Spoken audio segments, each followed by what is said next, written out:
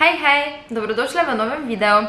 V tokratnem videu ti pokažem, kako smo praznovali mi in Amajo rojstni dan, oziroma nekaj utrinkov in kaj sta dobila za darilo. Mislim, da je presenečenje res ful, ful, ful cute in noro ljubko. Oba dva se že ful veselita, da dokončno dobita tole stvarco v roko. In tudi mi dva z Alešom smo že neočakana, ker imamo vsi radi živali. Le kaj bi to bilo?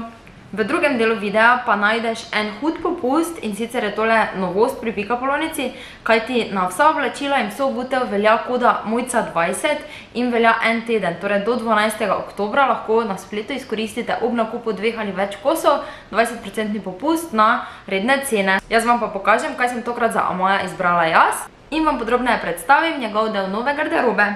Pa gremo!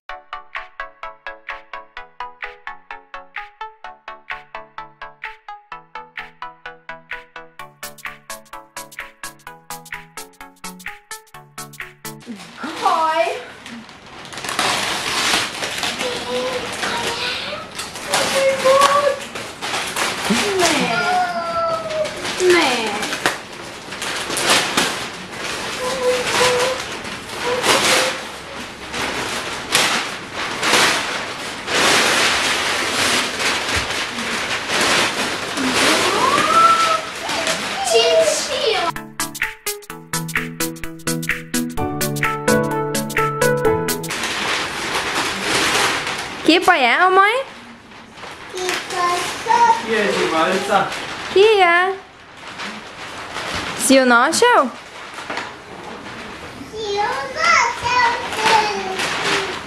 Kje je? Je tukaj?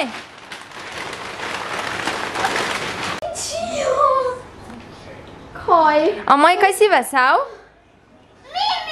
Ja,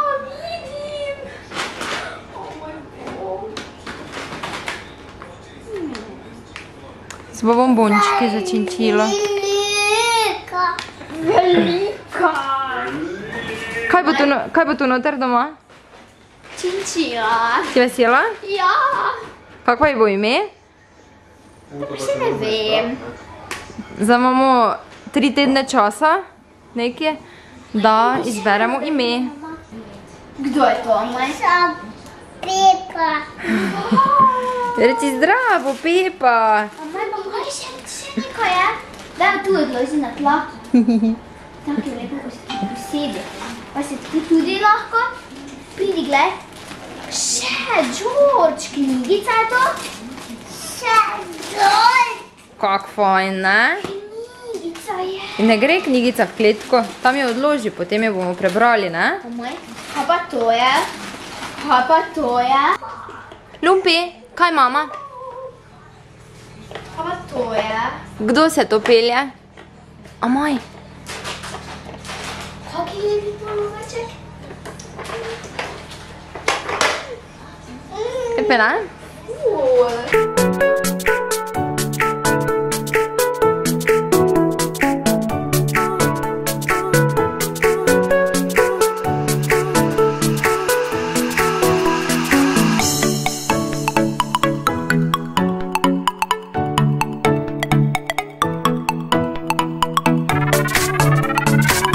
Za glavno darilo smo se z Alešem odločila za činčilo. Zakaj ravno činčila? Ker živi do 15 let oziroma od 15 do 20, odvisno pač kakšna je njega, eh, ker so činčile zelo občutljive živali, tako da moramo res poskrbeti, da ji bo lepo pri nas in da bo zadovoljna.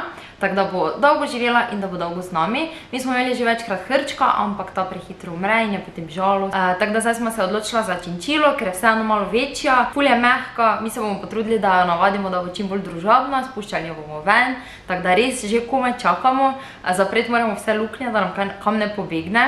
Smo pa za začetek izbrala tole kletko, ki ste jo videli v videoposnetku, uh, ki je sicer trenutno manjša, ampak je naša činčila zdaj še res mladiček. Trenutno je stara en mesec, tako da bo dovolj velika za njo. Potem ji bomo pa omogočili še večji prostor in naredili še večjo kletko, ampak za začetek jaz mislim, da bo tale idealna.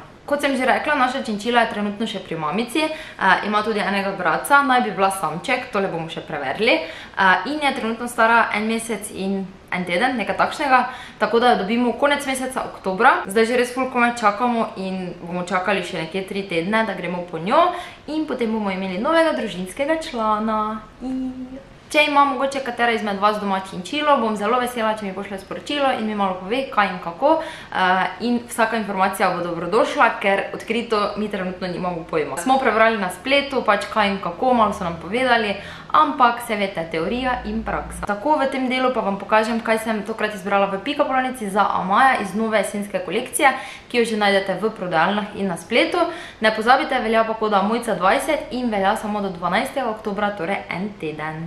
Dobro jutro, jaz sem ravno kar na poti v Pika Polonico, ker imajo novo jesensko-zimsko kolekcijo, tako da grem gledati, če je kaj takšnega za Amaja, za vrtec ali pa tudi kaj bolj finega. Danes ima ta Mija in na maj rojstni dan, tako da bo ta tudi skupaj dobila eno darilo.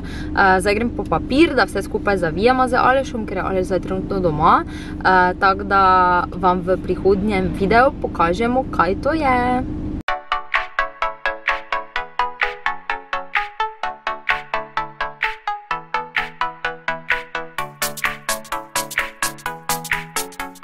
Tole bo idealno darilo za Amaja, ker obožuje pujso Pepo.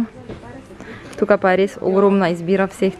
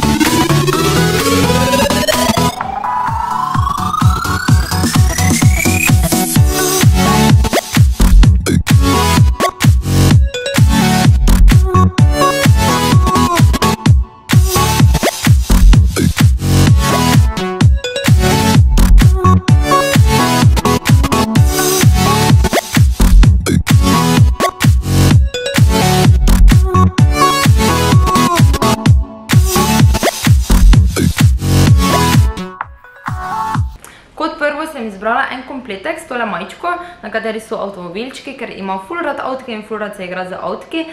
So pa ful fajne, ker so dejansko taki material, da jih ni nujno likati, tako da to prihrani res veliko časa, kot vem. Zraven sem pa vzela za kombinacijo take sive hlačke, ki imajo prav tako motive avtomobilčkov. Potem je bil ful ful všeč tale body, Jaz se vedno nekako odločam za potiske in v takšnih zemeljskih tonih. Všeč mi je detajl, ker ima tukaj takšen žepek in tri gumbke so pa narisani dinozauri. Potem naslednja kombinacija je tale majčka z motivom medvedka, Be Brave. Ta mi je še posebej všeč, ker ima takšna motivacijska sporočilca. In to mene vedno kupi, ful se mi všeč taka motivacijska, ki otroku sporočajo, naj bo pogumen, naj poskusi, naj proba. Tako da to je prva. Zraven pa še v takšnem prav tako rjavem otenku en medvedek. Ta je za spodaj, za podpoloverčke ali pa kar tako, ko imamo v stanovanju preveč toplo ali v vrcu. Zraven pa take ful, ful, ful lepe hlačke, ki so v bistvu v takem umazano oker odtenku in ima na kolenih takšne cute uhice. To bo prišlo skupaj idealno za pokombinirati. In pa tale kapica, ki je taka prehodna, mehka. Amajo še sicer nisem dala gor, upam, da se bo strinjal, da bo nosil. Ker zdaj ima obdobje, ko si dejansko vse trakcije in vse hoče dati iz glave, tako da upam, da bo tole prišlo v poštev, bo pa tako ful lepa barvna kombinacija. Zraven sem pa še vzela ful, ful, ful lepe čevlčke, take jesenske. So takšni gližnari v taki kamel barvi in so na ježka, tako da potem večji otroci se lahko že sami obujajo. Noter imajo v bistvu pri stopalu tukaj malo oblikovano, ampak res malenkost. In celotni čevelj je zelo mehki. To se mi zdi res ful pomembno pri zbiri obutve otroka, da ne kupite trdih čevljev, ampak mehke, zato da se lahko lepo nogica oblikuje in da lahko otrok lepo brez težav se igra in hodi. Vzela sem mu še komplet dveh pižamic in sicer takšna letala in drugi motiv avtomobilčki. So mi pa ful, ful fajne, mi imamo zdaj trenutno še pižamice iz Amerike, ker so na zadrgu. Evo, in te so tudi na zadrgu. Običajno imajo gumbke, tisto je preveč eh, dolgotrajno, ko je otrok zaspan in se potem skopa ga na hitro oblečeš, zapreš zadrgo in je že eh, pripravljen za spanje. Imajo pa različne motive v različnih velikostih in so brez stopalk, tako da jaz mu tukaj dam tiste puhaste zokničke, ponavadi z pikicami, tako da če še hodi okoli, da ne pade, ker mu potem več ne obuvam copatko. Sem pa vzela tudi evo tak komplet zokničkov, in čisto vsi imajo spodaj tele gumijaste bremze, tako da lahko potem teka na okolje. In za njega sem vzela še en poloverček v taki hudo, hudo lepi mint barvi in je takšen kapucar. Vzela sem ga v malo večji številki, ker ima zdaj, v, on zdaj trenutno nosi 92 številko in ima trenutno res ful dosti oblačil, tako da tega sem vzela eno številko večjega in je taki čisto enobarvni in res taki ful, ful, ful mehki. Tako da tega bomo zelo veliko pokoristili. Ful mi je všeč, ker v tej kolekciji najdem tudi nekaj za Mijo. Sem našla najbolj cute pižamico s takšnimi muckami. Se mi že pokazala, ful je všeč, ful je zadovoljna, je taka ful, ful mehka, siva barva in pa potem hlače imajo potisk čez celo in pridejo res, res lepo, tako da zelo udobne pižamice. Imajo pa prav tako v različnih motivih. Spodaj vam bom postila linke, tako da lahko kliknete in sami prečekirate, takoj ste na njihovi strani in poiščete v bistvu, kaj vas zanima. Sem pa vzela še tetrapleničke, ker te ima omaj res full rad. Sigurno ste skozi storije že ugotovili, da se nosi cotiko okoli in tudi vrtec vedno nese eno, tako da sem vzela, evo tukaj so štiri v kompletu in so od Friona. So pa motivi srčki v različnih modrih barvah. Pa še za zimo, za spanje, tole fenovo blazinico, v bistvu je grelna blazinica, lahko se segreje, tako da je potem uh, njemu toplo, ali pa potem tudi, ko je bolan, mu pride ful prav, da se potem to tak stisne k sebi. Je pa motiv levčka. Tako, tole bi bilo za enkrat vse, prišle smo do konca. Jaz upam, da ti je bil video všeč. Če ti je bil všeč, ne pozabi stisniti lajka in se ne pozabi naročiti na kanal, da ne zamudiš prihodnje vsebine. Mi se pa vidimo v prihodnjem videu. Čau!